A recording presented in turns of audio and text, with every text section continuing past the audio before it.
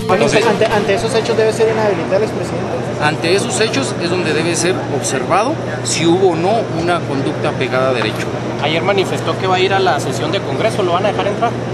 Es pública la sesión del Congreso, sí, es pública, eh, siempre y cuando se salvaguarde la integridad física de los diputados, del recinto propiamente dicho.